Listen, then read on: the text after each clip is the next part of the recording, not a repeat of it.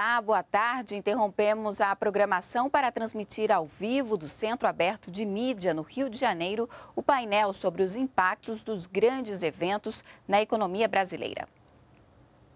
A dinâmica é a que a gente já tem tido nos outros encontros. Tá? Após a exposição, a gente abre para as perguntas, que a gente tem aqui já uma lista e continuará aberto depois. As pessoas podem ir se inscrevendo, sempre procurando contemplar a mídia nacional e mídia internacional. Ok? Presidente? Obrigada. Bom dia a todos e a todas os profissionais de imprensa aqui presentes, da imprensa nacional, da imprensa internacional. Prazer estar ladeado nesta mesa pelo professor Lamartine, da UERJ, e pelo professor Pedro Trengrause, da Fundação Getúlio Vargas, que tem ambos larga experiência com a temática proposta para o dia de hoje. A Embratur, a estatal brasileira responsável por promover o turismo e a imagem do nosso país no exterior, ela iniciou um trabalho intensificado a partir da Copa da África do Sul de promoção do Brasil lá fora, a partir da, do ajuste do seu plano internacional de promoção chamado Plano Aquarela. Este plano foi aprovado, publicado em 2009. É um plano com metas até 2020 e em função do advento da Copa das Confederações, da Copa do Mundo, a experiência anterior com os Jogos Pan-Americanos em 2007 no Rio de Janeiro, a captação para o nosso país dos Jogos Olímpicos de 2016, a vinda para o Brasil dos Jogos Universitários Mundiais em 2019, nós adaptamos o Plano Aquarelo, nosso plano internacional de promoção, com a plataforma do esporte, transversalizando esporte e turismo, uma temática muito próxima, com a certeza de que essa exposição do país em função desses grandes eventos traz benefícios é, enormes para o nosso país do ponto de vista econômico, do ponto de vista do legado humano, geração de emprego, qualificação de mão de obra. Então, adaptamos, intensificamos e entre 2010 e 2014 realizamos uma jornada internacional de eventos garantindo a promoção do nosso país. No nosso plano Aquarela, existem destinos internacionais que são prioritários e nós fizemos nestes destinos, são 15 no mundo inteiro, os mais importantes emissores de turistas para o Brasil, fizemos 20 grandes eventos internacionais, fora a participação em feiras globais, que é do cotidiano da Embratur. Esses 20 eventos ficaram dentro de um programa, a adaptação do plano Aquarela, que chamamos Go to Brasil. Essa forma de ajuste no plano de promoção com a plataforma do esporte levou para esses destinos prioritários, países emissores de turistas para o Brasil em número maior do que outros países, a experiência brasileira, a vivência brasileira, o corte cultural de sol e praia, de ecoturismo, de turismo de negócios, sempre com a participação de uma grande estrela do esporte brasileiro. Então, pegamos a plataforma do esporte com força e alavancamos a promoção do país, a promoção turística do país, e levando personalidades como Carlos Alberto Torres, campeão do mundo, é, levamos o Luiz Felipe Scolari, que à época não era técnico da seleção brasileira, para fazer uma promoção em Portugal. Então, ajustamos o nosso plano com base nessa grande exposição. E como o Brasil optou por este caminho de trazer grandes eventos, desde 2007 com os Jogos Pan-Americanos até 2019 com os Jogos Universitários Mundiais, o terceiro maior evento esportivo do planeta Terra, captado é, para a cidade de Brasília. Então, portanto, mais de uma década de grandes eventos esportivos. Ao lado disso, a captação de eventos de outra, outras naturezas, como eventos temáticos, Jornada Mundial da Juventude, Fórum Mundial das Águas, acabamos de captar também para a cidade de Brasília em 2018. Essa opção de trazer grandes eventos esportivos, de trazer grandes eventos temáticos, é, está sendo utilizada por nós da Embratur como plataforma de exposição do país. Então, sempre cruzando a agenda dos eventos com a agenda de promoção.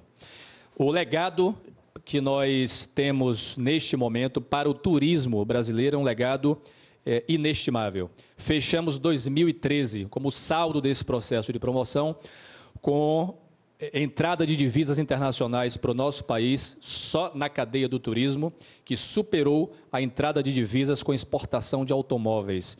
6,7 bi de entrada de divisas para o turismo, entrada de divisas internacionais e 5,7 bi um bilhões de dólares com a exportação de automóveis. Então, números que são importantes para o turismo brasileiro, que nos coloca como a sexta economia de turismo do mundo e a primeira economia do turismo na América Latina. E em relação ao legado humano, números que são extraordinários.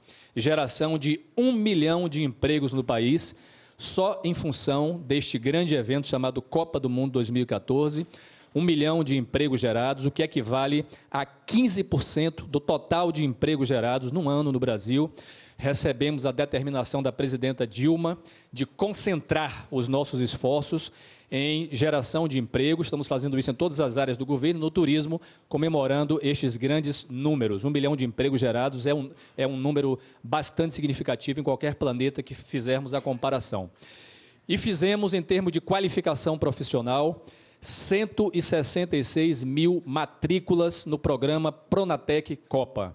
É um número bastante expressivo. Só em idiomas, nós temos 30 mil brasileiros inscritos é, para o curso de idiomas. Então, foi para nós muito importante nós termos feito esse tipo de qualificação profissional repito, gerar um milhão de empregos apenas em função de um grande evento.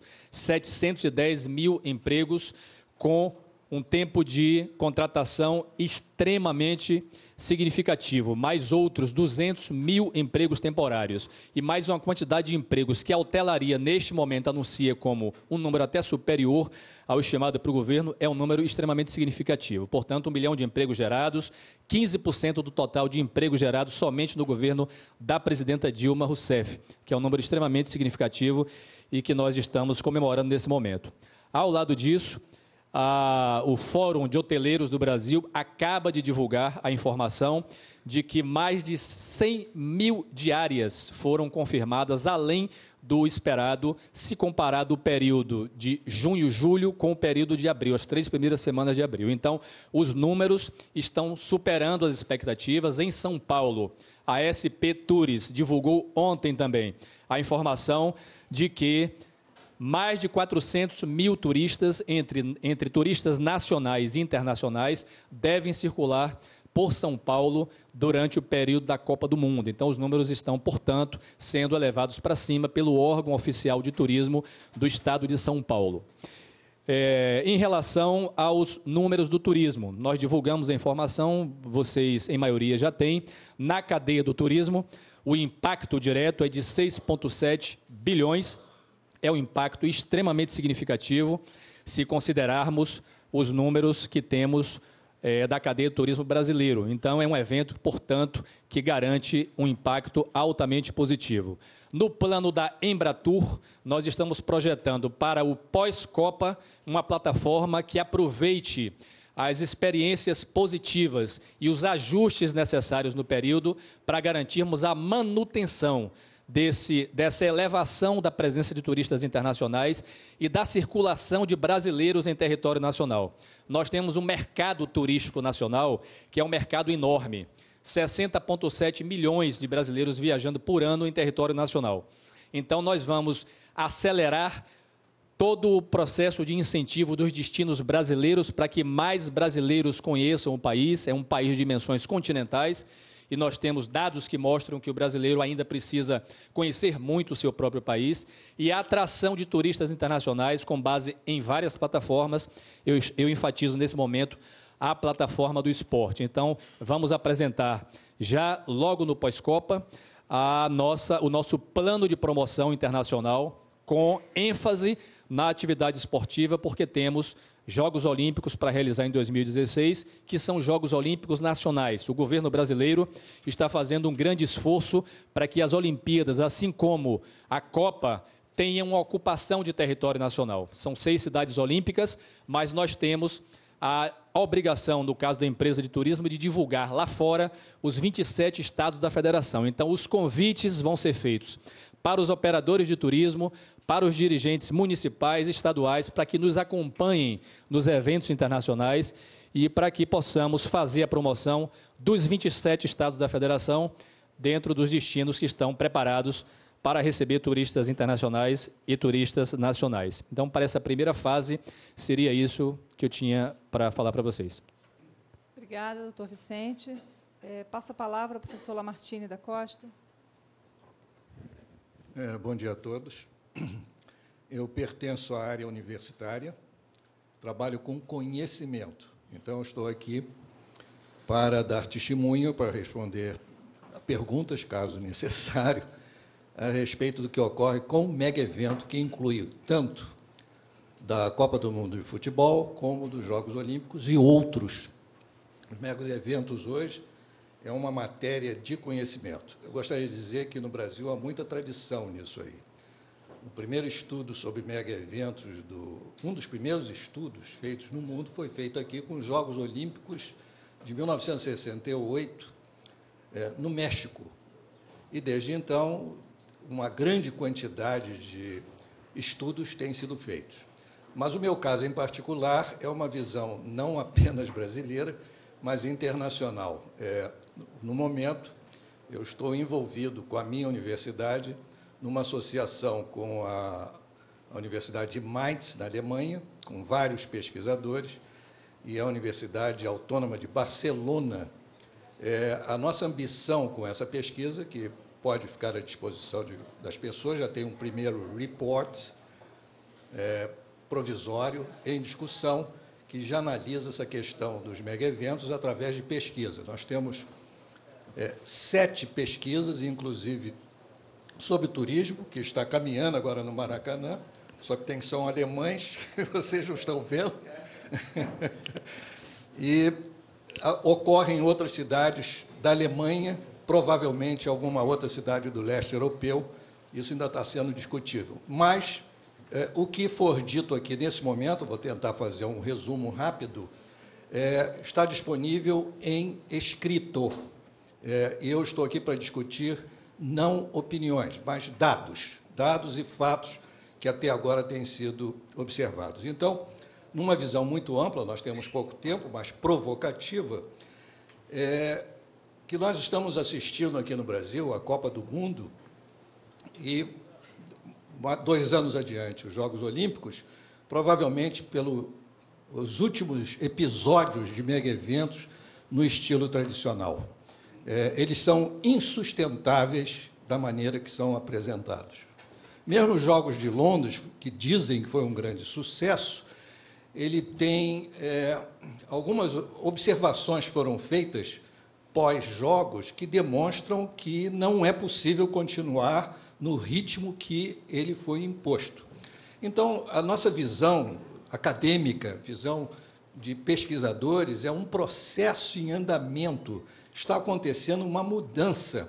Até agora, sete ou oito cidades já abandonaram as propostas de organizar os Jogos Olímpicos de Inverno na Europa. E o caso da semana passada é muito curioso, que uma cidade que já era encarregada dos Jogos Asiáticos, Hanoi, no Vietnã, acaba de abandonar. Então já está havendo um abandono dos países com relação aos mega-eventos. Muito bem. Então, na nossa pesquisa, nós fomos, estamos indo a campo, já temos uma primeira visão, conseguimos reunir é, vários pesquisadores e foi feito uma aplicação de um questionário para entender como pesquisadores, como a pessoa que está aqui no momento falando para vocês, estava entendendo o que está ocorrendo pelo mundo afora. É lógico que nós não vamos prevalecer apenas desses pesquisadores. Nós temos outros grupos que vamos comparar estudos. Por exemplo, estamos estudando agora a questão da imprensa ou da mídia É, os alemães, o, o, grupo da Universidade de Mainz, está insistindo para a inclusão da mídia. Há um outro grupo de pesquisadores que acha o seguinte: há vários estudos que mostram, com relação aos megas eventos, eu até nos slides, que não estão sendo apresentados no momento, não, estão ali. Eu não sabia, desculpe. Então, nós temos aí a pesquisa, tem ali um, um link, que, se vocês quiserem, pode anotar. É, tem ali as pessoas correspondentes. Podemos passar para o outro? É, esse é outro estudo. Nós fizemos um levantamento parecido com esse, que foi publicado em 2002. Estamos comparando o que houve naquela época, que foi quando houve a crise de corrupção no Comitê Olímpico Internacional. Estamos comparando agora para ver o que, que houve. É, também tem um link ali que vocês têm acesso. Esse livro, por acaso, é, é, em inglês e está publicado no exterior, não tem versão em português. Outro, por favor. É, isso aí é que nós paramos. Por que, que nós temos dúvidas em incluir a mídia como um dos grupos de consulta para entender o que, é que são os mega eventos? Ali nós vemos um estudo que foi de 300 e poucos é, jornais nos Estados Unidos, e num período de mais de 20 anos, no qual se examinou, isso é um estudo feito pela uma universidade, nós temos também lá a autoria, né, é de um chinês que vive nos Estados Unidos, e ele é da área de comunicação, e foi constatado algo que vocês devem estar assistindo agora aqui na Copa de 2014. É que todo mega evento começa com grandes críticas e depois ele cai num outro, num outro patamar de elogios. O caso mais importante que houve até agora é da África do Sul. É, preliminarmente, o, isso envolveu a área acadêmica, hoje é um escândalo acadêmico que houve na África do Sul. Para os acadêmicos, parecia que a África do Sul ia acabar, as contas iam estourar, é, não sei quantos milhares de prostitutas iam invadir o país nas outras fronteiras com os, os afri, países africanos, como também o HIV ia aumentar a sua densidade no país. Nada disso ocorreu. Nada disso ocorreu. Então, é, isso é muito sintomático que nem todos os grupos, e provavelmente os próprios acadêmicos, nós colocaríamos em discussão se vale a pena ou não entender o que se trata. Que provavelmente nós estamos diante de um fenômeno do século XXI, de grandes eventos internacionais, globalizados, que, dão, que nós não conhecemos integralmente. Então, a mídia tem um papel muito importante que é justamente extrair os benefícios e malefícios, e com isso nós vamos evoluindo para saber para onde vamos. Mas até provavelmente, nós, vocês viram ali o link no primeiro slide, vocês poderão acompanhar essas pesquisas. Para terminar, eu vou fazer algum, algumas observações do que, que nós estamos entendendo. Preliminar, mas para discussão. É, tem um lado que tem consenso dos pesquisadores é que os mega eventos estão pagando pelo seu próprio sucesso, seja da, os Jogos Olímpicos, seja a Copa do Mundo 2014. São coisas gigantescas, praticamente impossíveis de serem organizadas totalmente com eficiência. Não existe mega evento eficiente. O envolvimento é tão grande que é praticamente impossível. Mesmo os Jogos de Londres, que dizem que foram os mais perfeitos, ah, as organizações relacionadas ao meio ambiente já acusaram que os dados com relação à sustentabilidade não estão corretos. Muito bem, mas há um sucesso. Agora, esse sucesso do lado negativo, pelo menos o que se vê, é, Beijing, eu estou falando Jogos Olímpicos e Copa do Mundo, Beijing, é, Sochi, na Rússia, ah, em abril desse ano, e os Jogos Olímpicos mostraram que é de fato um evento globalizado pela mídia e pelas competições, mas ele está se tornando uma arma geopolítica, inclusive da Inglaterra, e uma arma de nacionalismo. É, os mega eventos anteriores que mostraram no futebol, nos anos 30, e também é, os Jogos Olímpicos de 1936 é, mostraram que essa situação de transformar essas grandes festivais nacionalistas não produzem resultados benéficos com o caminhar do tempo. Então, esse é um detalhe. É, outra, outro consenso entre os pesquisadores, também em discussão, nós precisamos ir mais a fundo, é que os dados econômicos, eles não valem de uma maneira geral. Me desculpem as pessoas do governo aqui presentes, porque eles são manipulados pelo porte da situação. Os mega eventos funcionam que nem petróleo. É a melhor comparação feita até hoje. Aliás, não pertence a mim essa comparação. O petróleo é um elemento de riqueza em qualquer hipótese, mesmo quando há deficiências de gestão. Então, não vale. O mega evento traz sempre benefícios. E aqui no Brasil são visíveis. Então, eles se justificam pelo próprio acontecimento, principalmente em países que precisam avançar com a gestão das, suas, das coisas nacionais. Então, tudo bem, é, é um dado positivo, mas sempre haverá o risco de haver é, críticas com relação a situações negativas que vão aparecendo ao longo do tempo.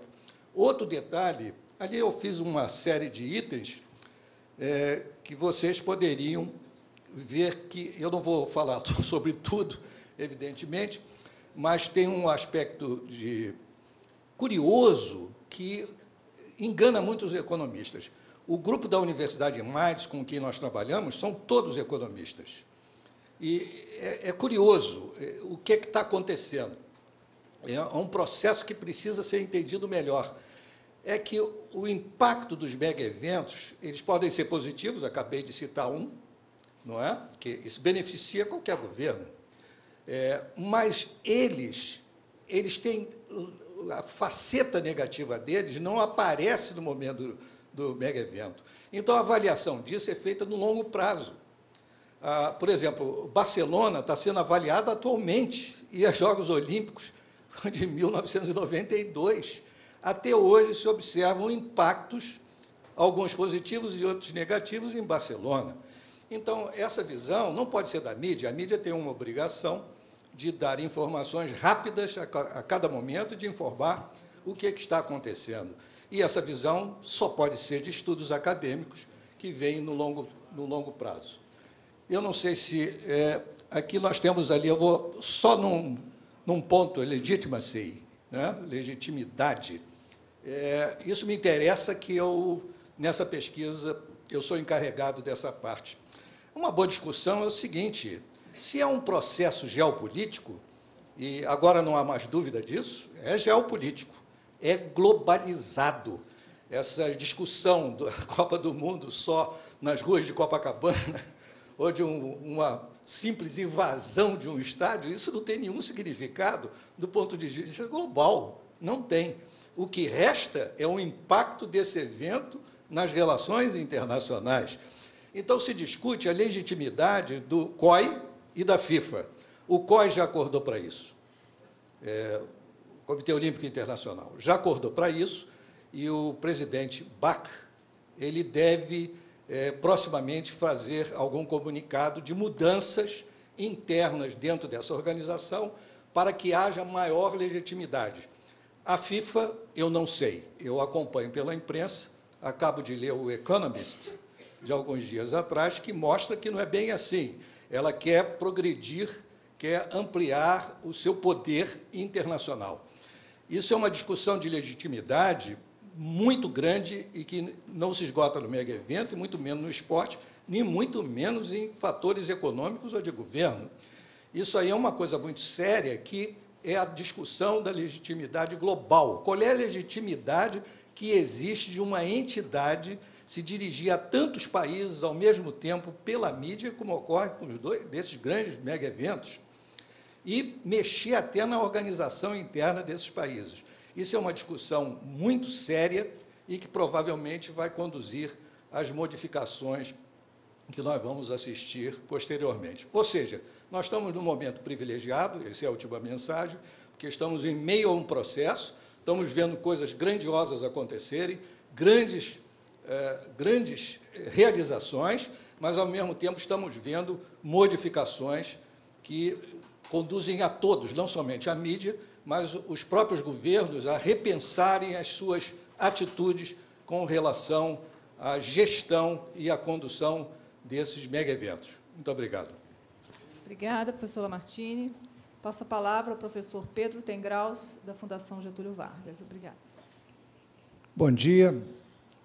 Eu vou pegar carona na fala do professor Lamartine, porque é realmente muito importante que se perceba que este modelo de organização de mega eventos esportivos está em risco. Quando ele menciona que várias cidades retiraram as suas candidaturas para receber esses eventos, é possível também mencionar que na Suíça houve um plebiscito justamente para que a população votasse se queria ou não receber os Jogos Olímpicos de Inverno em Salt Lake City, e a população disse não. Ou seja, isso não está simplesmente nas mãos dos governos decidirem se querem ou não receber esses eventos. A própria população na Suíça deu um exemplo de que desta maneira, como eles continuam sendo, como eles estão sendo organizados, o povo não quer. Pois bem, por que, que isso é importante? Porque desde Barcelona, e o professor Lamartine bem falou, que se criou uma ideia de que Copa do Mundo e Jogos Olímpicos transformam um país, transformam uma cidade. Isso simplesmente não é verdade. A Copa do Mundo e os Jogos Olímpicos não passam de grandes festas. Agora, quando eu digo que são grandes festas, eu não desmereço em momento algum essas festas, até porque todos nós aqui sabemos a importância que uma festa tem na nossa vida. É a festa de casamento, é a festa de formatura, são momentos especiais que a gente se prepara para viver e que carrega, né, que carregamos conosco a vida inteira. Isso também vale para a Copa do Mundo e para os Jogos Olímpicos. E aí, quando me colocam a questão sobre os impactos da Copa do Mundo na economia brasileira, Antes de responder, eu gostaria de saber o que as pessoas pensam sobre uma pergunta. Nós podemos considerar como legado da Copa ou dos Jogos Olímpicos investimentos feitos com dinheiro público que já estava disponível nos cofres públicos para ser investido, ou seja, dinheiro que nós já tínhamos à disposição, dinheiro que não foi trazido pela Copa ou pelos Jogos Olímpicos, nós podemos considerar o investimento desse dinheiro em qualquer área, seja em estádios, aeroportos, metrô, qualquer área, como legado, como impacto desses grandes eventos? Bom, eu pergunto por quê. Se a resposta for sim, nós já temos aí quais são os números dos impactos estimados. Por quê? Com base na matriz de responsabilidade que o governo apresentou em 2010, nós lá na FGV fizemos um estudo mostrando um impacto gigantesco na economia em razão dessas obras de mobilidade urbana, nos aeroportos, nos portos, nos estádios, que gerariam, se fossem efetivadas como foram apresentadas na matriz,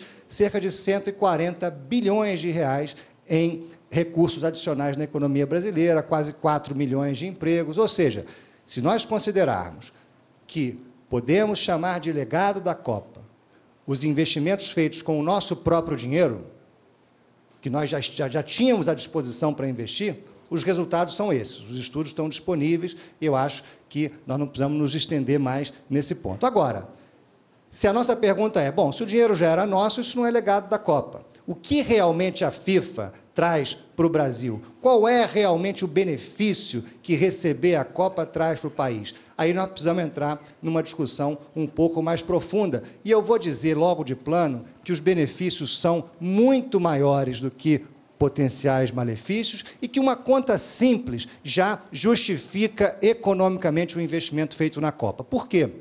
Primeiro, porque o investimento feito na Copa é pequeno. A gente está aqui falando de bilhão para lá, bilhão para cá, mas, na verdade, o PIB brasileiro é de 4 trilhões 500 bilhões de reais. E a Copa do Mundo, considerando só os estádios, custou 9 bilhões de reais em três anos. Ou seja, 3 bilhões por ano. É a mesma coisa da pessoa que ganha 4.500 gastar 3 reais numa festa, ou seja, é insignificante dentro do cenário macroeconômico brasileiro. E a gente faz porque a gente pode pagar, porque o Brasil hoje é a quinta, sexta, sétima maior economia do mundo e tem condições de fazer essa festa para que o povo brasileiro possa aproveitar a Copa do Mundo no país, que sempre foi um grande sonho. E, aliás, isso se prova é, é, nesse momento que a gente vive agora, com o baixíssimo apoio popular a qualquer manifestação contra a Copa. Enquanto no ano passado nós tivemos milhares, milhões de pessoas nas ruas protestando por um país melhor, pela educação, pelo transporte público, pela saúde, o IBOP mostra que o ano passado apenas 5% das pessoas que foram para a rua estavam na rua por algum motivo relacionado à Copa. Pois bem, esse ano, quando alguns manifestantes propuseram o slogan Não vai ter Copa, a população simplesmente não apoiou. Enquanto no Brasil e México, da Copa das Confederações, mais de um milhão de pessoas tomou, rua, tomou as ruas em 120 cidades brasileiras, no último Brasil e México tinha 50 gatos pingados na Cinelândia. Ou seja, a população que, enquanto 50 gatos pingados na Cinelândia protestavam, assistia junta no Alzirão, por exemplo, com 30 mil pessoas ali, com mais milhares de pessoas em cada ponto do Brasil onde há um evento de exibição pública, mostra que a população queria a Copa, a população quer a Copa, a população apoia a Copa. E essa é uma reflexão que a gente pode fazer com os dados disponíveis, o ano passado comparado com esse ano. Pois bem, esse modelo que a FIFA e o COI vêm desenvolvendo que apresenta para o mundo eventos esportivos como solução para problemas estruturais dos países, não pode continuar. Reparem bem, a Copa do Mundo ela é sustentada por um tripé. Numa das pernas é o Estado, é o país. Pois bem, desde 1930, na primeira Copa do Mundo no Uruguai, foi o governo que pagou a conta. Em 1950, na Copa do Mundo do Brasil, foi o governo que pagou a conta. Agora, a Copa do Mundo daquela época era bem diferente da Copa do Mundo de hoje. Não tinha televisão, não tinha patrocinadores. Para os senhores terem uma ideia, não havia nem eliminatórias para disputar a Copa. Em 1950, os países eram convidados. A Índia foi convidada e não teve dinheiro para pagar passagem para os seus jogadores virem disputar a Copa do Mundo no Brasil. Pois bem, de 1950 para cá, isso mudou demais. Os senhores imaginam algum país convidado para jogar a Copa do Mundo? E mais, algum país que não tenha dinheiro para pagar passagem de avião para os seus jogadores virem disputar nos dias de hoje? Ou seja, esse evento evoluiu muito. E evoluiu tanto que, de uma única de um único pilar de sustentação, que era o apoio do Estado, ele hoje tem mais duas pernas sustentando. Primeiro é a televisão. Reparem, em 1970 foi a primeira vez que um jogo de Copa do Mundo foi transmitido ao vivo e a cores. Não se pagou direitos de transmissão em 1970. Hoje, a FIFA arrecada 2 bilhões e meio de dólares com direitos de transmissão, para que TVs do mundo inteiro transmitam para 211 países jogos que são assistidos por 3 bilhões e 200 milhões de pessoas. E aí eu faço um parênteses. Simplesmente, o valor desta mídia que um país recebe por sediar a Copa, se ele tivesse que comprar pelo espaço que tem, já é bem superior ao investimento que ele fez para receber o evento. Ou seja, nós não precisamos aqui considerar investimento em aeroporto, em porto, em metrô, que inclusive no Brasil demonstra um problema, um problema crônico, que não é do governo da presidente Dilma, não é do governo do presidente Lula, não é do governo do presidente Fernando Henrique. Por quê? Porque em 2007, como o professor Lamartine bem lembrou, e o nosso presidente da Embratur também, dos Jogos Pan-Americanos, eu ouvi que o metrô ia chegar até a Barra para os Jogos Pan-Americanos. Eu ouvi que a Baía de Guanabara ia ser despoluída para os Jogos Pan-Americanos. Eu ouvi as mesmas promessas que ouço agora para as Olimpíadas em 2016. E os governos eram outros. Eram outros governantes. Ou seja, o Brasil, que em 1960 construiu uma cidade num único mandato presidencial, Brasília, no mandato do presidente Juscelino Kubitschek, hoje tem uma burocracia tão grande que ninguém consegue construir uma ponte num mandato. O Brasil que construiu Itaipu, que construiu a ponte Rio-Niterói, que construiu grandes obras, hoje está paralisado. E não é um problema do governante A, B, C ou D, é um problema institucional. O metrô de Buenos Aires é do século, do início do século XX, E hoje nós estamos até hoje falando do metrô até a Barra, no Rio de Janeiro. Espera aí. Bom, então, o primeiro pilar é o governo, sempre foi assim, e esse pilar não evoluiu. Agora, a televisão evoluiu, porque de 1970 para cá, ela não só paga 2 bilhões e meio para a FIFA, mas por que, que ela paga? Porque ela revende os direitos para os seus próprios patrocinadores. Então, se ela paga 2 bilhões e meio para a FIFA, quanto ela ganha por transmitir a Copa do Mundo?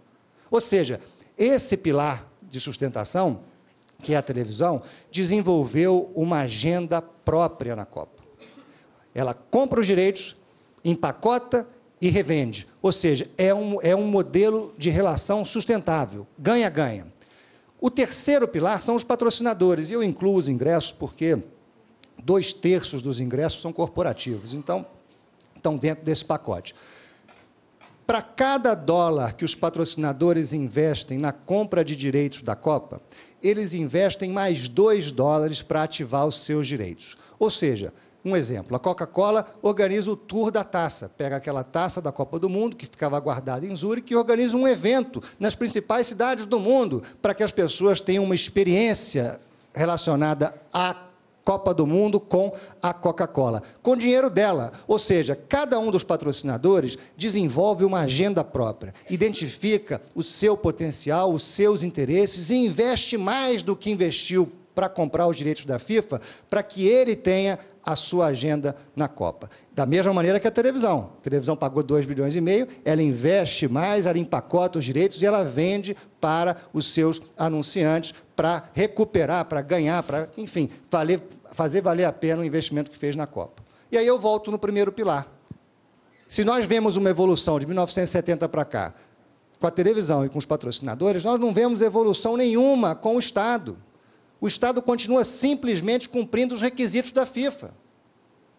Não desenvolve investimentos próprios na sua agenda, não desenvolve uma agenda própria. Eu costumava dizer, quando encontrava com secretários da Copa, porque eles eram secretários da FIFA, porque ficava todo mundo atrás da FIFA para cumprir os requisitos que a FIFA estava estabelecendo. Embora o Brasil tivesse potencial para desenvolver uma série de ações do seu próprio interesse que poderiam fazer com que a Copa do Mundo, que como o professor Lamartine bem disse, já é um sucesso, fosse um sucesso ainda maior. E por que, que o Estado não faz isso? Há uma explicação. Por quê? Porque a FIFA, o COI, as TVs, os patrocinadores, eles seguem o evento, eles aproveitam uma curva de aprendizado, porque eles são os mesmos na Rússia, eles são os mesmos no Catar. A única coisa que muda é o país. E o país é então surpreendido com um monte de regras e requisitos e tem que sair por aí correndo atrás, feito um maluco, para atender o que eles estão pedindo. Agora, esse modelo não se sustenta mais na, conven na convenção da Conferência Mundial dos Ministros de Esporte da Unesco, realizada em Berlim no ano passado, o Brasil foi o primeiro país a levantar essa questão, essa reflexão sobre o custo-benefício desses grandes eventos. E eu acho que esse é um grande legado da Copa do Mundo no Brasil, que é uma reflexão que pode mudar a relação do Estado, a relação dos governos com esses eventos daqui para frente. Na minha opinião, o Brasil teria que construir aeroportos com ou sem Copa, porque o Vicente sabe muito bem que a demanda, a inclusão de uma grande parcela da população no mercado consumidor permite, permitiu que o mercado de transporte aéreo crescesse nos últimos 10 anos de forma vertiginosa, porque também o Brasil, há 15, 20, 30 anos atrás, era o país do futuro, não era o país do presente. Hoje, nós temos condições, nós precisamos, nós temos o dinheiro para investir, a necessidade para investir e uma infraestrutura defasada para recuperar, com ou sem Copa. Agora, o que, que nós poderíamos fazer só por causa da Copa? Eu dou dois exemplos aqui para encerrar ilustrando o que eu estou falando de como eu acho que o Estado poderia e deveria ter ativado o direito de sediar a Copa do Mundo. Por um lado, eu acho que o Estado deveria ter exigido que a FIFA discutisse problemas crônicos do futebol brasileiro. O futebol brasileiro hoje responde por uma parcela significativa da economia do país, gera muitos empregos, são cerca de 300 mil empregos todo ano, aliás, se nós somarmos quatro anos de atividade do futebol brasileiro, o futebol brasileiro já movimenta mais dinheiro que a Copa do Mundo, hoje. E aí nós temos que comparar quatro anos com quatro anos. Pois bem, o futebol brasileiro simplesmente foi esquecido nesses quatro anos e a Copa do Mundo passa por aqui, deixando o nosso futebol para trás. E eu digo isso porque o problema crônico que nós temos no futebol brasileiro hoje é calendário. Só que o nosso calendário tem, tem, tem, tem dois problemas. Primeiro, na base da pirâmide, porque 90% dos clubes brasileiros, embora o Brasil seja o país do futebol, jogam em média quatro meses e meio por ano. Ou seja, eles tinham que jogar o ano inteiro. E no topo da pirâmide, os nossos clubes são obrigados a jogar na Sul-Americana e na Comebol em países que não oferecem a menor condição de jogo para um clube de futebol do Brasil. Ou seja, os estádios são precários, não há aeroportos nas cidades. O Flamengo, quando vai jogar em Potosí, ele tem que aterrizar a 600 quilômetros de distância da cidade e subir a 3 mil metros de altitude, colocando em risco a vida do jogador que não teve condições de se aclimatar para aquela partida. Para jogar num mercado que não paga nada para o país. Qual é o mercado da Bolívia para o futebol brasileiro? Qual é o mercado do Paraguai para o futebol brasileiro? E aí, quando o Brasil vai discutir isso na Comebol, são nove votos contra um perde-se todas. A FIFA poderia ter sentado na mesa, trazido a CONCACAF e discutido uma competição com 45 países, do, do Canadá ao Chile, similar ao que a UEFA faz com a Champions League. A Champions League envolve 52 países. Por que nós não podemos ter uma competição aqui na América que envolva 45, os 35 países da CONCACAF, mais os 10 da Comebol. Aliás, o ministro Aldo Rebelo foi muito feliz no que disse outro dia, Libertadores da América, mas que América? Que não tem Estados Unidos, que não tem Canadá, quer dizer, Libertadores da América Latina, né? Então, ou seja, há um sofisma aqui que a FIFA poderia ter nos ajudado a corrigir. Segundo, a FIFA, ela tem programas de desenvolvimento para o futebol. De 98 até hoje, ela investiu 2 bilhões de dólares para desenvolver o futebol no mundo, só que disso só 6 milhões de dólares veio para o Brasil. Ora, se cada um dos 200 membros da FIFA tivesse recebido a mesma coisa, teria que ter recebido 10 milhões cada um. Ou seja, o Brasil recebeu menos ainda do que a América deveria ter recebido se o dinheiro fosse dividido igualmente pela, pela quantidade dos países membros. O Brasil, que está fazendo um esforço danado para que a FIFA faça a Copa das Copas, porque disso não há dúvida. A Copa com a maior demanda de ingressos da história, com o maior número de patrocínio da história, ou seja, a Copa com a maior média de gols até agora da história, ou seja, é o maior sucesso da história, eu acho que o Brasil merecia ter recebido mais atenção nesses quatro anos para o desenvolvimento do futebol brasileiro, com o investimento que a FIFA tinha previsto para o período, que era de 800 milhões de dólares para desenvolver o futebol no mundo inteiro, e o mundo inclui o Brasil. Acho que poderíamos ter pedido isso. E, por outro lado, sinceramente, investimos entre 8 e 9 bilhões para construir os estádios. Pois bem, que cabem 3 milhões e meio de pessoas. Muito bem, somos 200 milhões de brasileiros e é inadmissível que o Brasil, que o brasileiro assista a Copa do Mundo no Brasil da mesma forma que ele assistiu a Copa do Mundo no Japão. Era importante, era fundamental que o governo tivesse pensado numa iniciativa capaz de levar a Copa do Mundo para todo mundo. E essa iniciativa já existe no Brasil há muito tempo. Em 1978 foi a primeira vez que houve um evento de exibição pública no Alzirão, a poucos quilômetros daqui onde nós estamos. Pois bem, a FIFA só descobriu isso em 2006, quando o governo da Alemanha resolveu fazer eventos de exibição pública e levou 18 milhões de pessoas para a rua contra 3 milhões nos estádios. Então, se investimos 9 bilhões para fazer os estádios, acho que poderíamos e deveríamos ter investido mais 1 bilhão para fazer eventos de exibição pública nas principais cidades do país, levando emprego e renda para essas cidades e também propiciando uma experiência diferenciada para o povo brasileiro, que, sinceramente, está muito machucado porque não tem ingresso. Aliás, não tem ingresso para a Copa do Mundo na Alemanha, não dói. Agora, não ter ingresso para a Copa do Mundo no Brasil dói demais. É uma questão de, de, de, privação relativa, porque você vê os estádios que são construídos com o nosso esforço, que recebem os nossos clubes, que eu frequento, aliás, é, é, no dia a dia, mas não consigo comprar um ingresso para a Copa do Mundo. E isso não é um problema que se consiga resolver pensando dentro da caixa. É preciso pensar fora da caixa. E para ativar esse direito de receber a Copa do Mundo, pensando fora da caixa e lembrando que o povo brasileiro quer torcer junto, quer aproveitar de uma forma diferente essa Copa, a única solução possível seria eventos de exibição pública para o país todo, nas principais cidades do país. Então, eu acho que esses dois exemplos de ativação em relação especificamente à Copa do Mundo poderiam ter sido é, é, pensados pelo, pelo Brasil, e aí não é só pelo governo federal, não, é pelo governo federal, pelo governos, pelos governos estaduais, pelos governos municipais, ou seja, eu digo aqui em relação à nossa sociedade como um todo. Agora, realmente ficava muito difícil pensar em tudo isso com aquela pressão internacional que a gente recebia ouvindo pela mídia que tinha gente querendo dar chute no traseiro do Brasil. Então, eu acho que a gente não tinha condições realmente de pensar fora da caixa com tanta pressão, e é por isso, professor Lamartine, que FIFA e COI precisam repensar esse modelo urgentemente, porque se os países não acompanham os eventos, eles têm a responsabilidade de sentar com cada um dos países e desenvolver os interesses desses países dentro da Copa do Mundo e não simplesmente cobrar os requisitos que eles acham que são razoáveis. Porque, aliás, é engraçado, a, a, a, os Jogos Pan-Americanos aqui no Rio de Janeiro, eu me lembro bem do César Maia dizendo que estava construindo instalações maiores do que eram é, é, requeridas,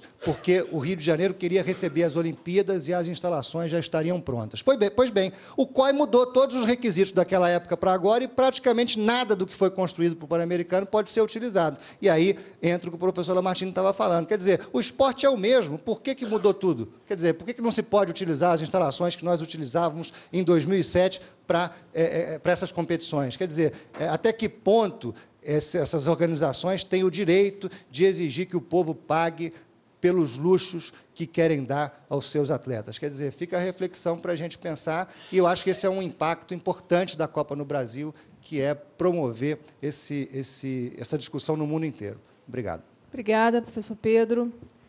Vamos começar agora a sessão de perguntas. Alguns jornalistas já estão inscritos aqui para começar a perguntar. A gente vai pela mídia internacional o colega do veículo Xejiang Daily. Está aí, mídia internacional. Só um minutinho, fazendo chegar o microfone ali, Carla, por favor.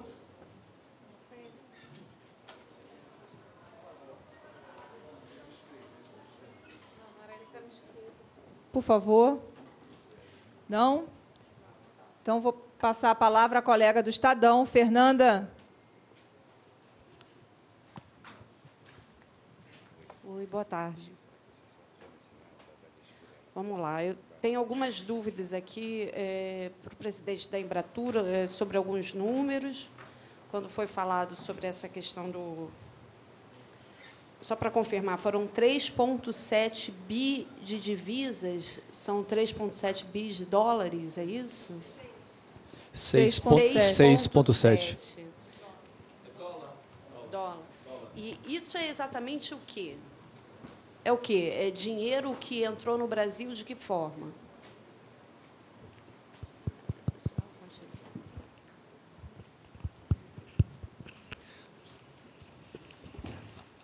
Apenas ingresso de divisas oriundo, oriunda do turismo internacional, dinheiro.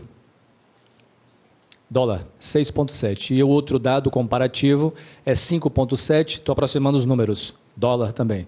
5,7 bi que é o total de divisas provenientes da venda, exportação de automóveis no Brasil.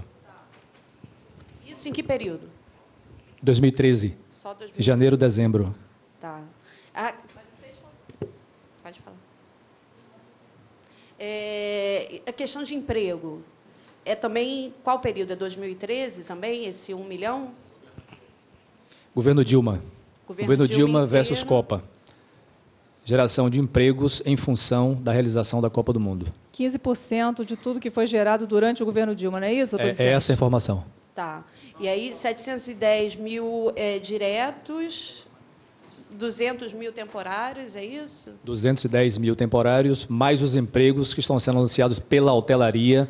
Nesse momento, fecha a conta de um milhão. Tá. É 900.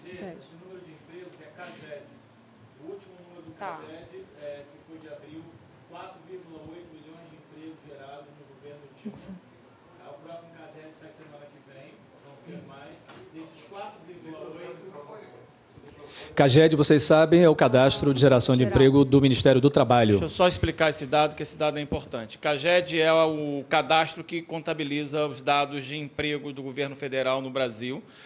O último dado contabiliza 4,8 milhões de empregos gerados desde a posse da presidente Dilma até abril ou maio. Tá? Mas é até o último dado que a GED, confere para mim na minha memória, eu acho que é abril. Tá? É, desses 4,8, temos que uh, cerca de um milhão foram gerados especificamente por conta de Copa do Mundo. 710 mil é, são empregos uh, diretos, fixos, e os outros 200 são uh, temporários. Porque o, o CAGED ele não, não, pega o temporário, não é isso? Não, uh, o CAGED não. CAGED não. CAGED só carteira assinada. É, só carteira assinada. Então, só um minutinho. O que você está colocando temporário, quer dizer, não é, é, informal. Temporário ele tem carteira assinada ah, por um período. Não tá. confunda temporário com tá. informal. Tá. O CAGED pega. Tá bom. É, agora, só, só mais uma dúvida para o presidente também do, da Embratur. É, enfim, os especialistas fizeram algumas críticas em relação ao modelo da FIFA. É, pensando no que está acontecendo, já concluído todo o processo, o que, que a Embratur diria hoje para a FIFA sobre o que foi feito? Nós não temos nada a dizer à FIFA. A, a Embratur ela faz a promoção da imagem do país lá fora e usou a plataforma do esporte para fazer a promoção. Quando da assinatura das garantias que o governo brasileiro fez para receber o evento e do dossiê de candidatura já ficaram claras as posições do governo brasileiro. Então, no nosso caso, no caso do governo, não tem padrão FIFA de negociação, tem padrão do governo brasileiro de negociação e não houve alterações significativas do Estado brasileiro, da sua normatização para receber o evento. Por exemplo, lei, lei de combate ao terrorismo, estava lá, como uma das solicitações da FIFA em relação ao normativo jurídico brasileiro, não alterou. Então, no caso da Embratur, nós usamos a plataforma do esporte, feita a, a, a captar o evento para o Brasil, para garantir que, a partir do esporte, a imagem do país fosse lá fora, veiculada com essa força. Então, press trips com jornalistas lá e cá é, é, rodadas de negócios com operadores de turismo com foco no esporte, lá e cá.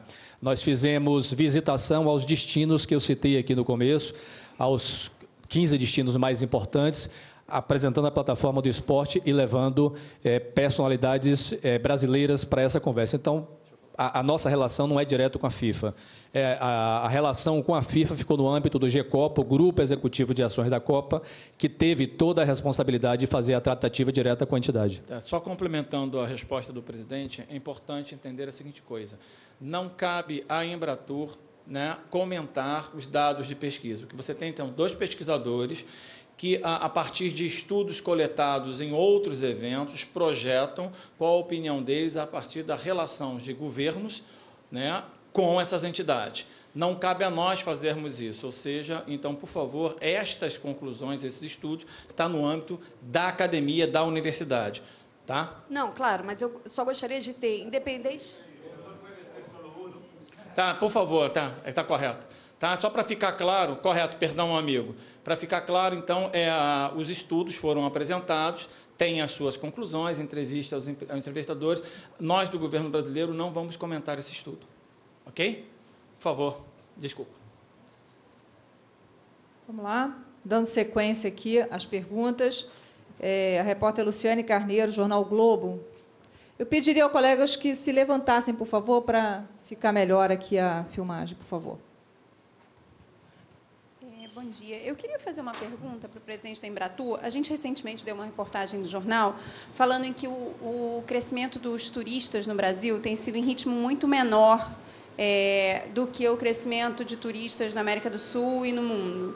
É uma coisa em 13% para o Brasil e, se não me engano, algo em torno de 50% América do Sul e eu anotei que não estou achando exatamente. Eu queria saber o que, que a gente pode fazer para melhorar e por que, que diante, apesar de todo esse esforço, de todo esse plano do governo, esses números, esses turistas não têm, eh, esse aumento nos turistas não tem se traduzido no mesmo ritmo que tem ocorrido em outras partes do mundo. É uma excelente questão. A própria matéria trata de dados que são importantes para nós. Nós temos o ingresso de turistas internacionais, que não é um ingresso galopante em relação a outros países, mas nós temos o ingresso de divisas que é extremamente significativo. 178% em 10 anos de aumento do ingresso de divisas internacionais no Brasil e o crescimento do mercado interno, que é um crescimento exponencial, quase 10 vezes em 10 anos o crescimento do turismo interno. E nós focamos nesse período de 10 anos na captação de eventos corporativos. Então, como é que explica não ter crescido tanto entre 5 e 6 milhões, número de turistas que entraram no Brasil em 10 anos, e termos chegado a 178% do ingresso de divisas? Então, nós focamos a captação de eventos corporativos e nós passamos do 19 lugar para o nono lugar na escala mundial de países que captam eventos corporativos. Muitos congressos na área de saúde, muitos eventos na própria área de turismo, eventos corporativos e associativos, eventos religiosos realizados no Brasil. Então, chegamos ao nono lugar com um público que, além de qualificado, deixa mais recursos. Essa é uma primeira questão. Uma segunda questão é que nós estamos num continente sul-americano, um país que tem 200 milhões de habitantes e que não tem vizinhos na mesma proporção.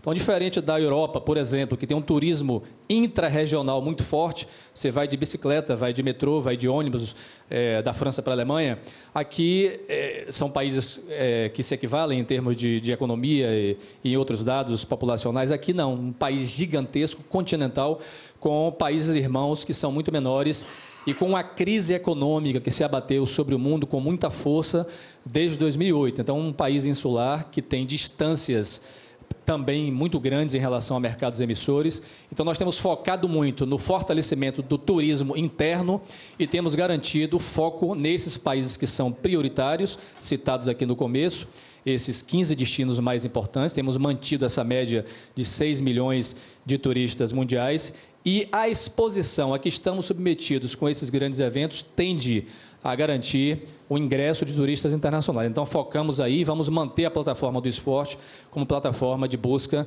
dessas divisas que têm crescido muito mais do que o número do ingresso de turistas em nosso país. Ela é permanente, é uma busca permanente, incessante, consta do plano Aquarela mas é, é um processo que se acelera com essa exposição é, que aqui estamos agora submetidos com a Copa do Mundo. Temos usado a plataforma em função dessa busca incessante. Obrigada. Parece que o professor Pedro queria fazer um adendo.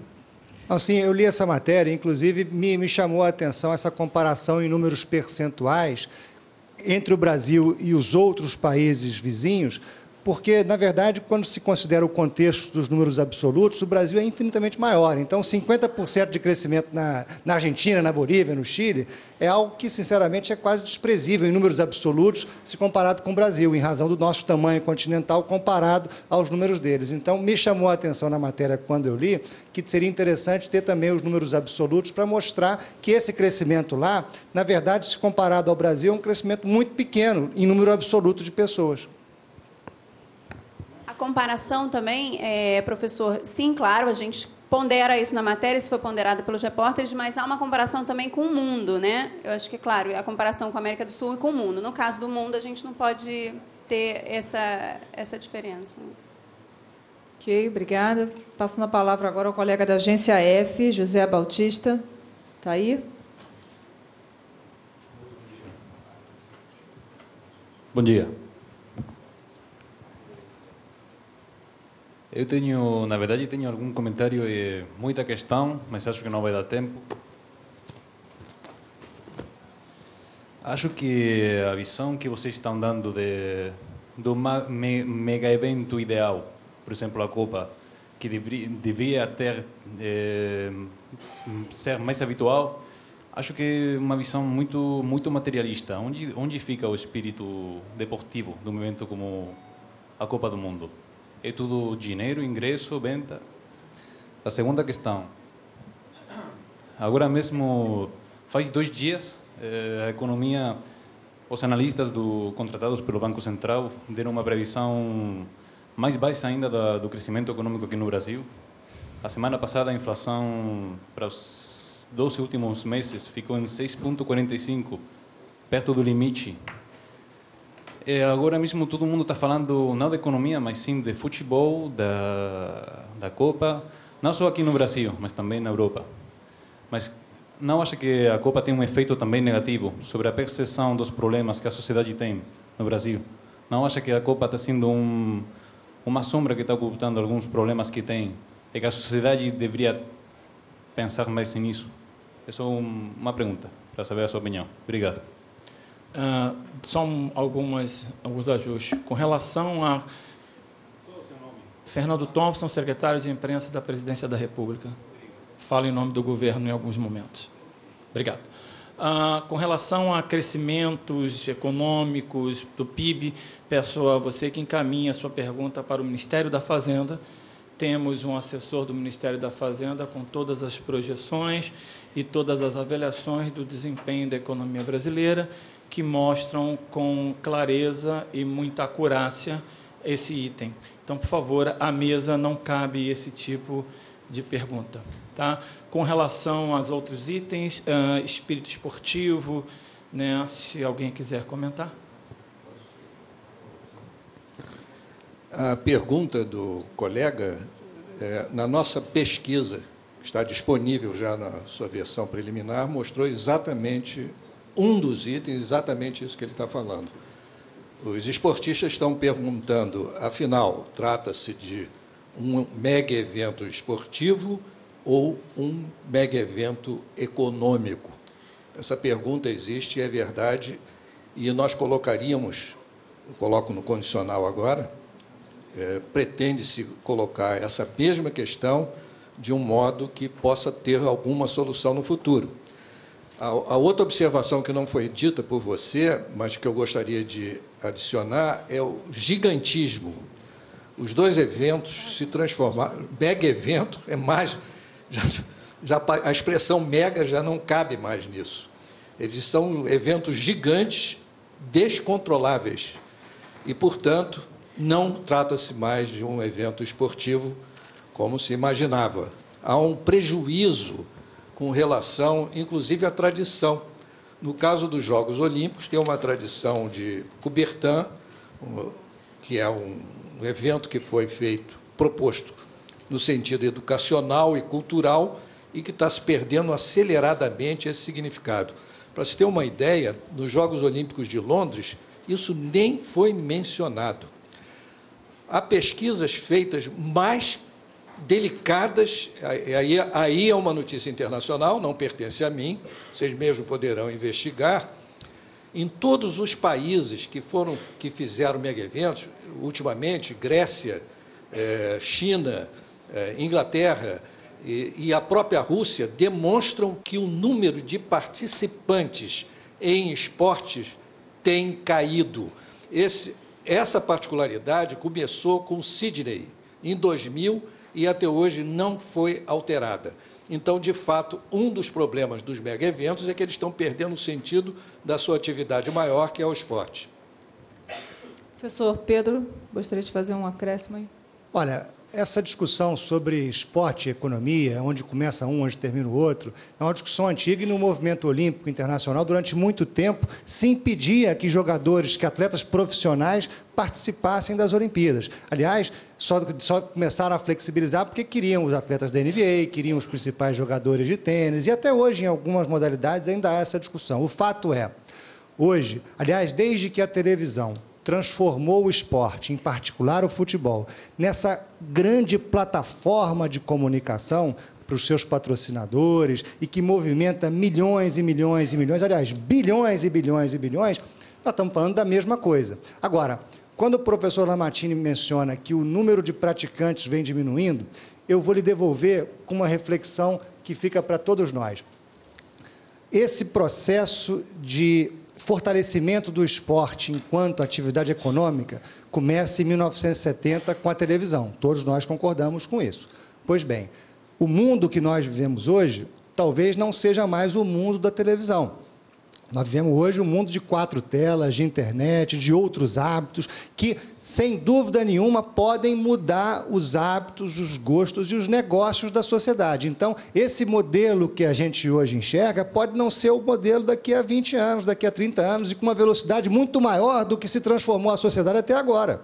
Aliás, a televisão condicionou o esporte em vários fatores. O vôlei é um exemplo. O vôlei teve que mudar suas regras para acabar com aquela história de vantagem para cá, vantagem para lá, para poder caber na grade da televisão. Ou seja, a essência do esporte, ou seja, as regras de um esporte foram modificadas para que ele pudesse caber na programação da televisão, porque cabendo na programação da televisão, ele se transformava em plataforma de comunicação e num grande negócio. Ou seja, a sua pergunta se responde por esse movimento que o vôlei deixa cristalino ao se enquadrar na televisão. Agora, a transmissão pela internet não precisa mais acontecer naquele horário. As pessoas hoje assistem o que elas querem, na hora que elas querem, aonde elas querem. Então, se elas têm interesse em alguma coisa, elas conseguem que aquilo esteja disponível a tempo e a hora. Esse é um mundo novo. É um mundo onde a comunicação é de mão dupla, não é mais aquela comunicação que a gente sentava na frente da televisão para assistir. E não tenha dúvida, isso terá, já tem e terá impacto cada vez maior no esporte e na sociedade como um todo. Obrigada, professor Pedro. É, a repórter Samanta Lima, Folha de São Paulo.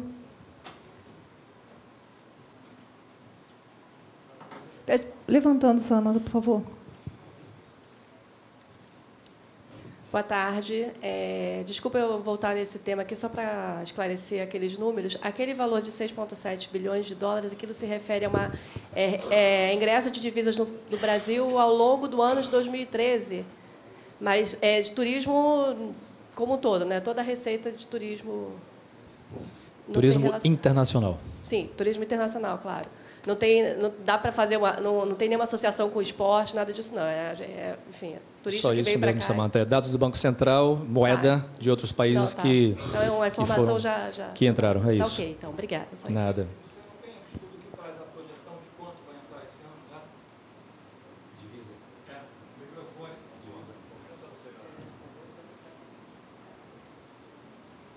Ok. é, Bom, na sequência aqui, passando a palavra a Neuza Maria, portal TV Fator Brasil. Ah, sim, para o professor Pedro. Professor, dentro ainda do que um mega evento pode trazer para um país, né, dependendo de ser esporte ou não, a gente que é da área de economia e negócios, é, acompanha é, o pessoal correndo atrás do, do petróleo, o pessoal do petróleo fazendo evento, né, enfim, cresceu muito, inclusive, no Brasil. É, o que, que um mega evento desse pode atrair de empresas, né, que o governo também corre muito atrás das relações internacionais, querendo trazer empresas, negócios. O que, que já tem uma expectativa dentro desse, da Copa, enfim? Inúmeros ou empresas interessadas, visão de, de, de Brasil lá fora? Bom, um mega evento, seja ele qual for, ele terá um resultado proporcional ao investimento que o país tiver feito para ativar os seus interesses em recebê-lo. Então, fica claro aqui que cabe a cada país que organiza esses eventos defender a sua agenda, defender o seu quinhão. Agora, nós não podemos imaginar que um evento que acontece durante um mês vá transformar o país. Ah, vamos construir aqui um novo parque hoteleiro. Se o nosso mercado não estiver precisando daqueles hotéis, são elefantes brancos, para que construí-los? Eu ficava muito preocupado ouvindo que o Brasil tinha que se transformar na Alemanha para receber a Copa do Mundo. Não tem. Copa do Mundo são 64 jogos de futebol, com 32 times jogando, transmitidos para o mundo inteiro. O que passa disso são coisas que nós criamos ao redor desse evento, como o nosso colega ali mesmo falou. A essência é essa. Então, na minha opinião, a exposição que o Brasil tem no exterior por receber esse evento, ela é muito positiva e ela acende, ela coloca o Brasil no radar do mundo. Agora, o que traz empresas para o Brasil é a economia do país. E aí eu te digo, dos patrocinadores da FIFA, praticamente todos que têm negócios no Brasil têm o país como uma das suas prioridades. A Sony, há dois anos atrás, teve prejuízo no mundo inteiro, exceto num mercado: o brasileiro. O maior patrocinador da Copa, que é a Ambev, que é patrocinadora com a Budweiser na cota internacional e com a Brahma na cota nacional. É uma empresa brasileira que hoje é dona da Burger King, do Ketchup Heinz, ou seja, é um exemplo de boa gestão para o mundo inteiro. Então, o Brasil é grande porque ele é grande, não é porque ele recebe a Copa do Mundo. Ele recebe a Copa do Mundo porque ele é grande, mas ele não é grande porque recebe a Copa do Mundo. Obrigada, professor Pedro. É, a gente está. Só um esclarecimento. Acho que a pergunta da Samanta, o Fernando é, me sinalizou que parece que tem uma dúvida que tem a ver com o número. O número é exatamente igual. Qual é a diferença? Para poder esclarecer e não ficar nenhuma sombra de dúvidas. 6,7 bilhões de dólares ingresso de divisas com o turismo internacional. Impacto da Copa do Mundo na economia do turismo, 6,7 bilhões de reais. Como o número é o mesmo, então, se eu não me fiz entender no começo, para deixar bastante claro, ingresso de divisas internacionais em 2013, de janeiro a dezembro, 6,7 bilhões de dólares. Impacto da Copa do Mundo na economia do turismo no Brasil, 6,7 bilhões de reais. Aí considerados os gastos gerais dos, dos turistas nacionais e internacionais. Ok? Esclareceu? No caso, é, no caso da segunda informação, é período Copa. No caso da primeira informação, Esse janeiro a dezembro de 13. Tá, então é 6,7 bi de reais de impacto na economia gerados pelo turismo, também internacional. Não. Não, não. Copa. Copa. Deixa eu explicar, Samanta. Uma coisa é uma coisa, outra coisa é outra coisa. Então eu não estou entendendo a diferença. Vou te, vou te explicar. 2013. Turistas internacionais que vieram para o Brasil gerar. Ok. Eu só estou explicando, tem uns colegas que estão traduzindo, tá? 2013. O fluxo de turismo internacional deixou no mercado brasileiro 6,7 bilhões de dólares. Outra informação: o negócio, a cadeia de negócios ligadas à Copa do Mundo, não é só turismo, por exemplo, brindes.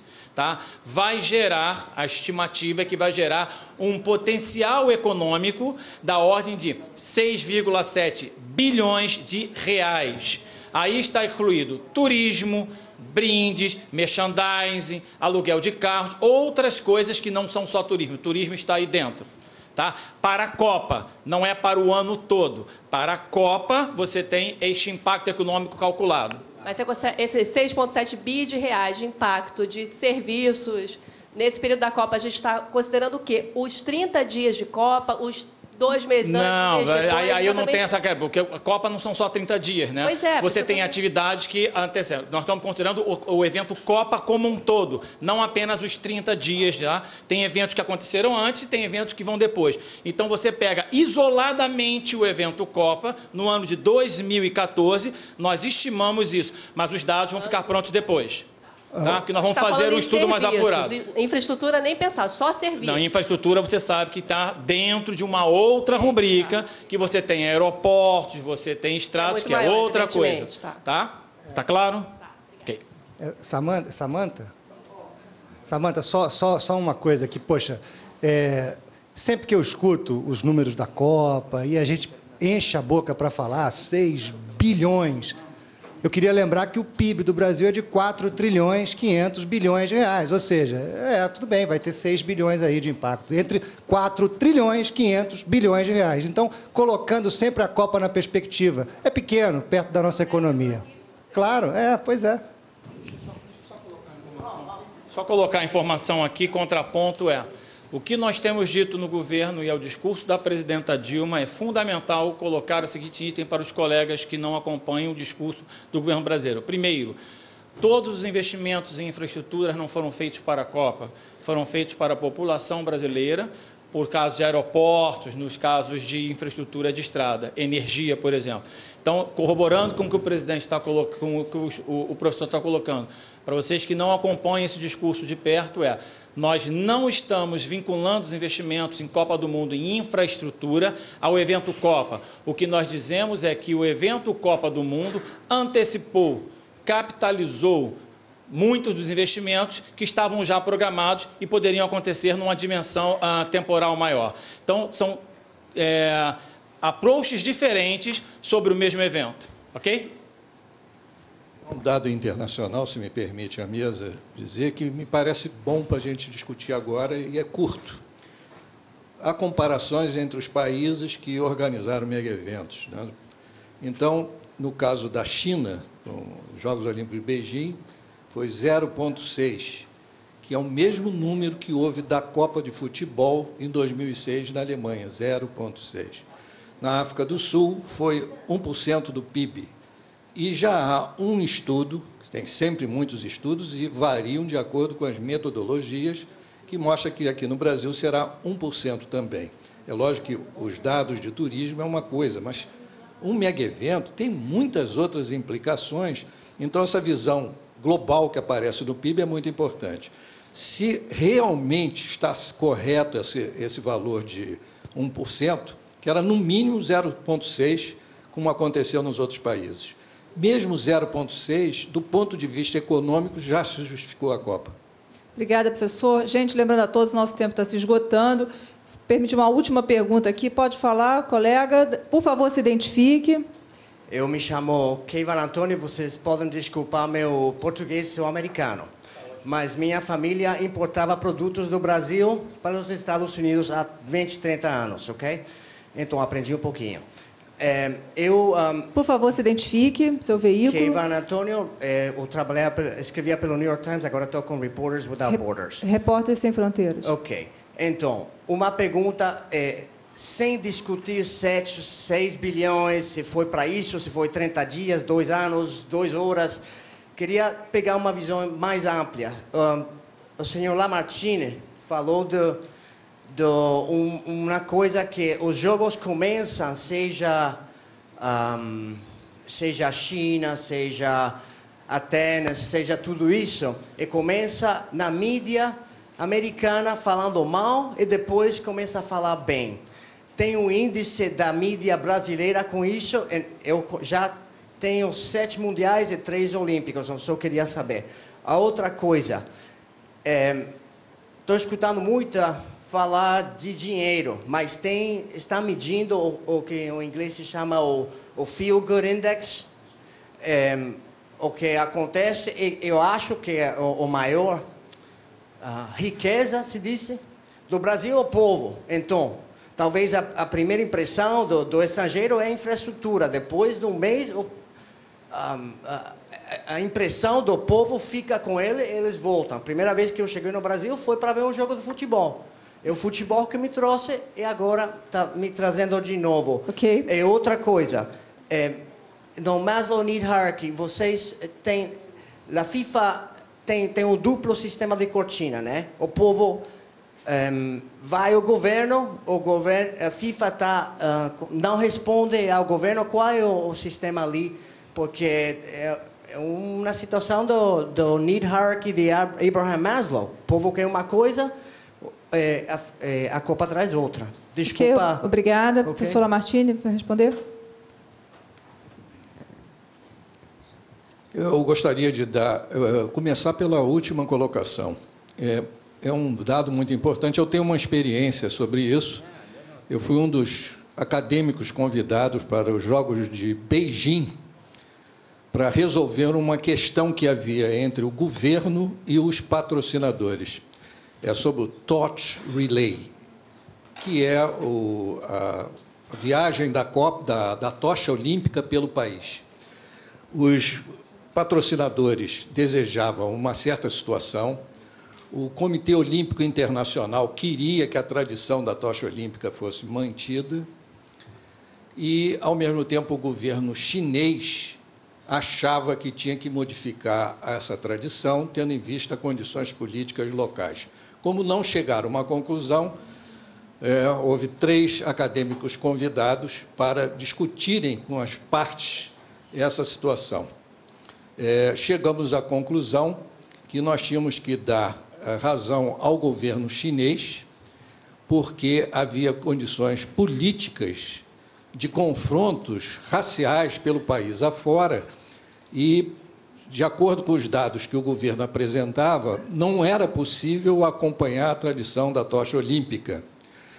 A, a experiência que se tem daí é muito interessante para o que está acontecendo no Brasil e no futuro, que um dos fatos principais aqui que houve no Brasil, muito delicado, foi a intervenção exagerada da, da FIFA nas situações nacionais o que acontece é que jogos, é, mega evento, é uma situação parecida com empresas ou de choques governamentais.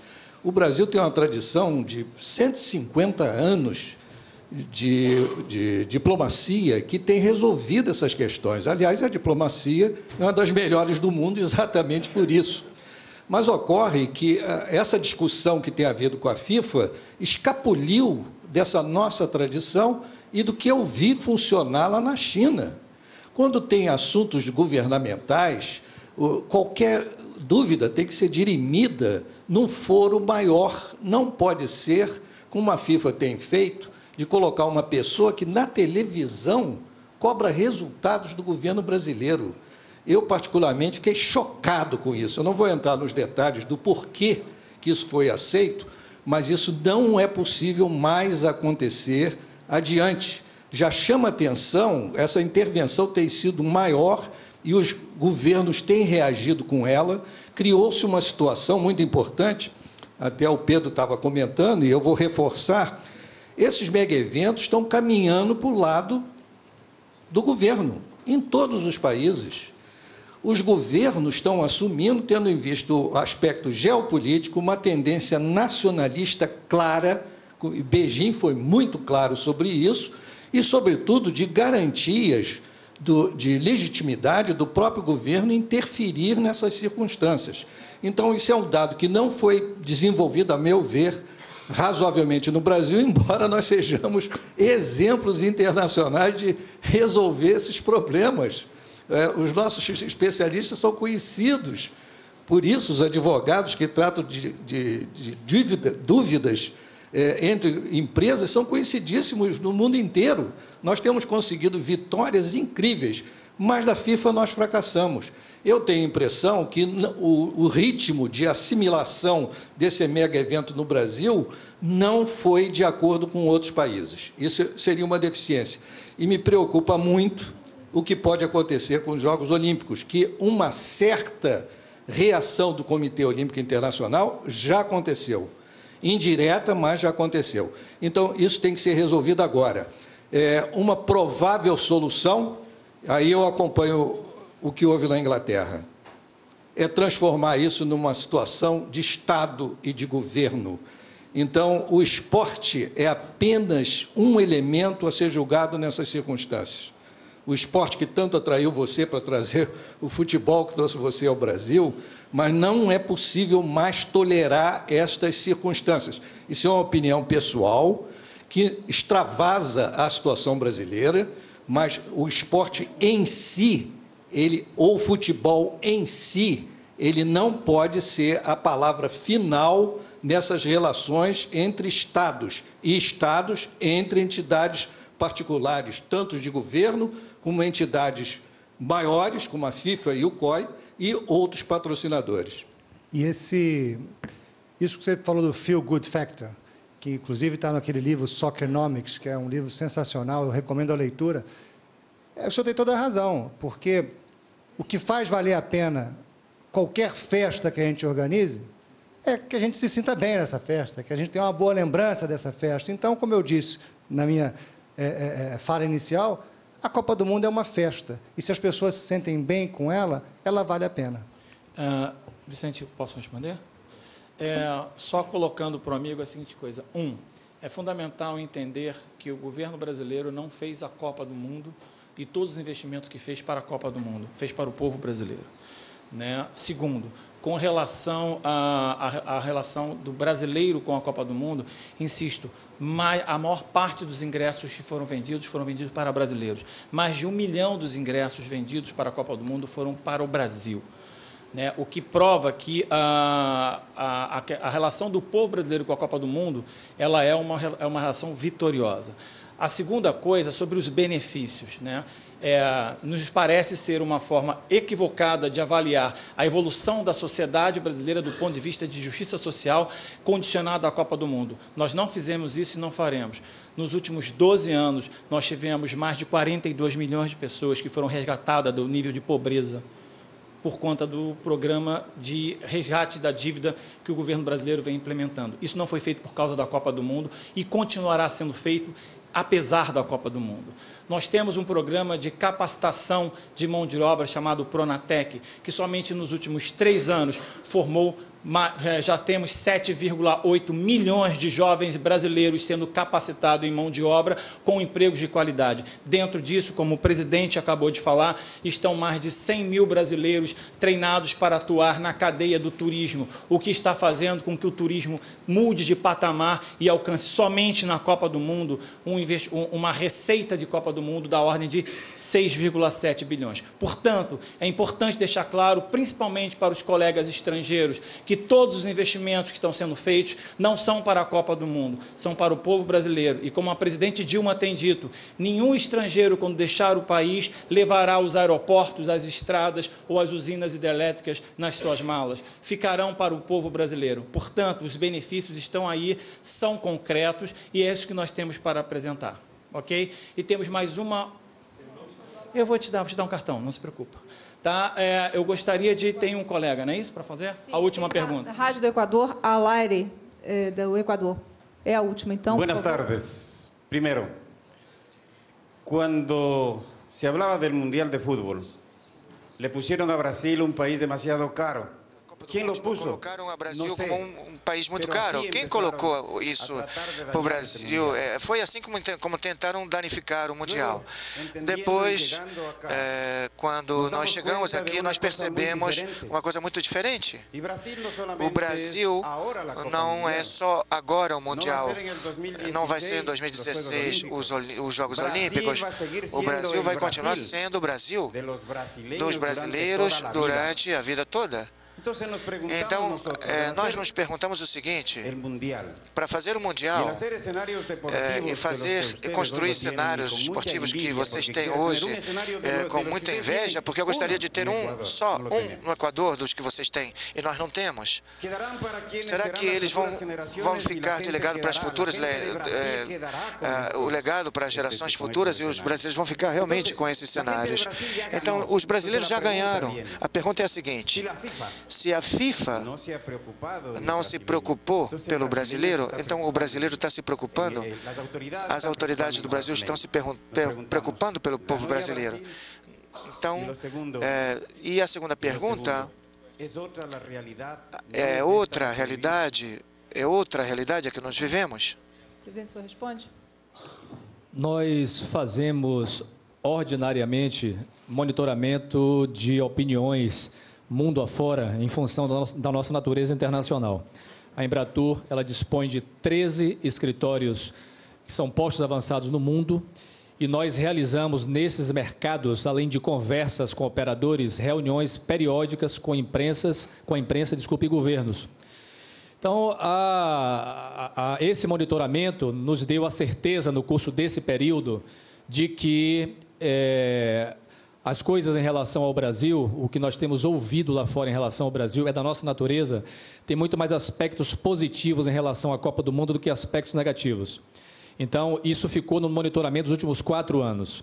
É, não abalou a confiança do governo em relação à decisão acertada de trazer o evento para cá.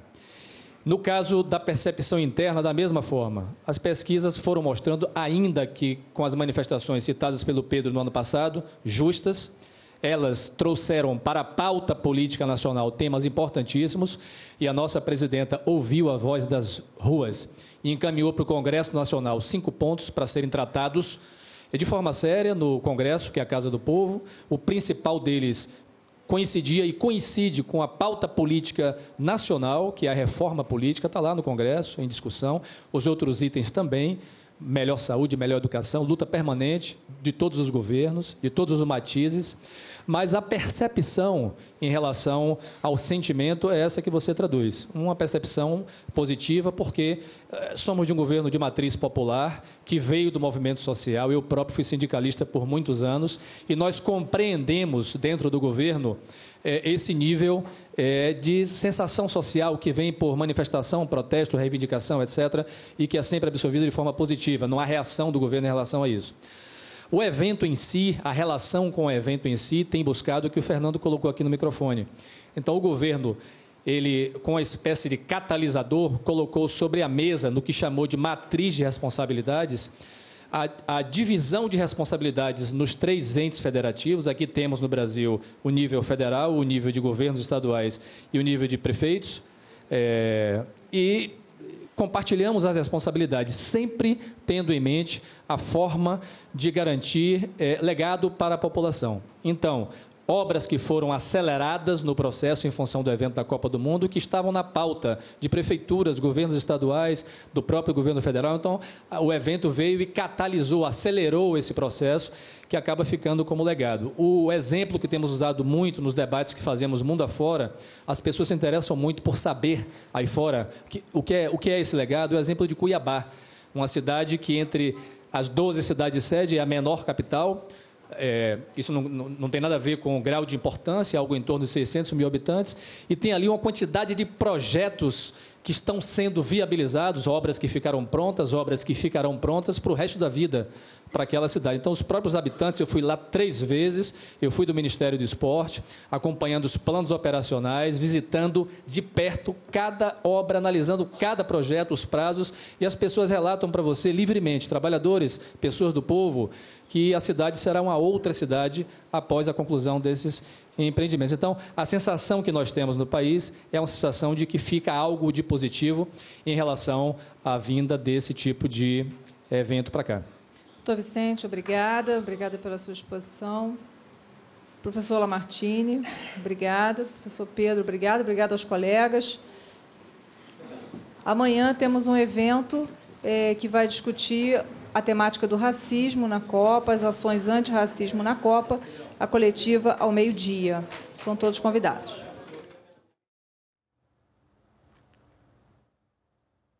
Você acompanhou ao vivo a apresentação sobre os impactos dos grandes eventos na economia brasileira. Segundo a Embratur, a Copa do Mundo já gerou um milhão de empregos no país. O Mundial de Futebol, de futebol deve injetar cerca de 6 bilhões e 700 milhões de dólares na economia. A Copa do Mundo é responsável pela vinda de turistas de mais de 180 países. Mais de 600 mil estrangeiros e de 3 milhões de brasileiros devem viajar pelo Brasil durante o Mundial de Futebol. E nós podemos voltar a qualquer momento com outras informações. Continue com a gente aqui na NBR, a TV do Governo Federal.